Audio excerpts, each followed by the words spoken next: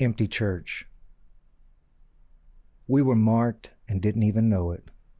We lived by avoiding eye contact, nights like this one, when the autumn air falls on the skin just long enough for a man to feel needed, to chop and drag and forget the short lengths of days yet to pass.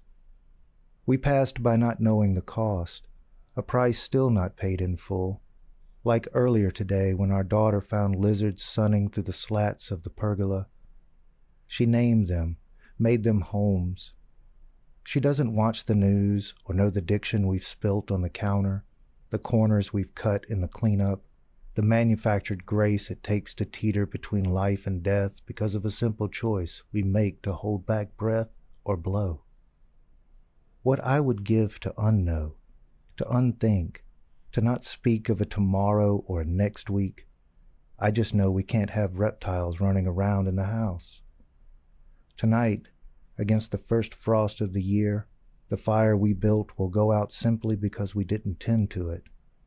It has nothing to do with a war on impending darkness.